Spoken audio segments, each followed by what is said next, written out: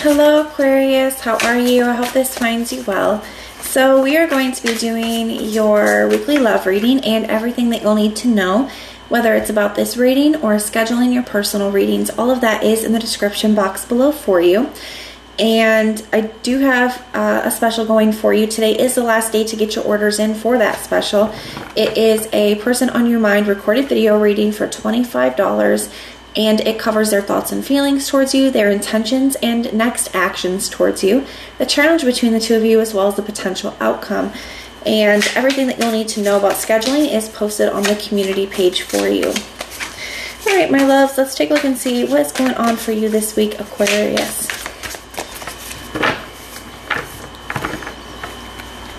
All right, their feelings towards you. We have the Six of Cups their intentions towards you. We have the Two of Swords. Their next actions and behaviors towards you. We have the Queen of Wands.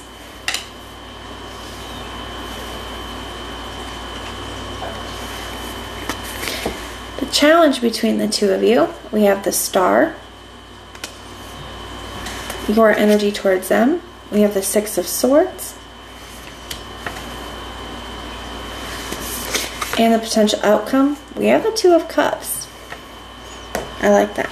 All right, the bottom of the deck for the general overall energy, we have the Fool.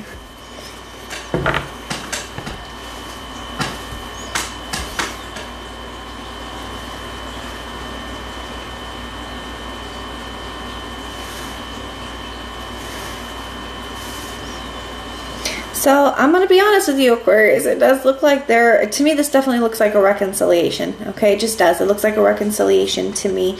Um, now, there may be, well, we'll get to that in a minute. Okay. I do feel like for a lot of you guys, this person is a past person, and it feels like they are really in the past right now. Okay, you got the Six of Cups for their feelings. Feeling quite nostalgic at this time, very sentimental, thinking about the past, thinking about you, thinking about all the times you guys had together. It's it's very um, like they're posted up on memory lane with the couch, Netflix, and their beer koozie. Okay, they are just spending all the time thinking about you. We have the Two of Swords here for their intention. Somebody's feeling very indecisive.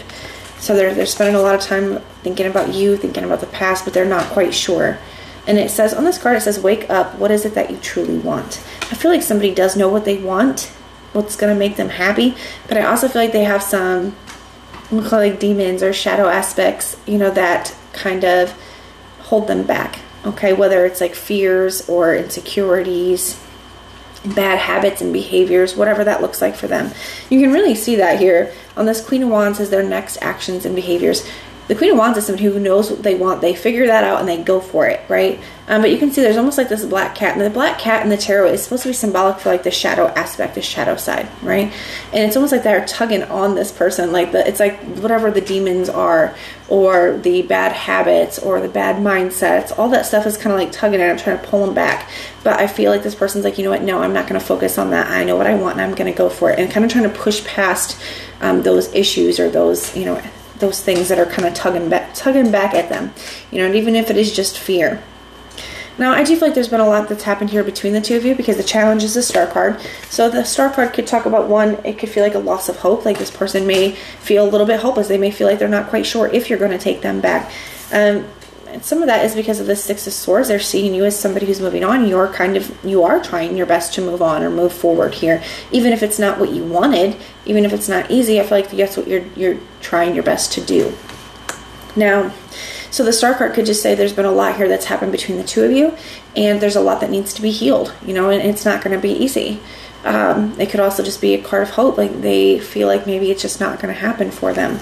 You could have felt like that as well. You could feel like there's a lot that needs to be healed here between the two of you.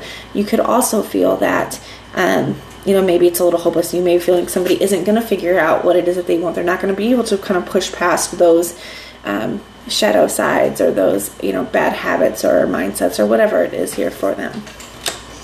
But I feel like somebody's ready to take a chance and have a new beginning.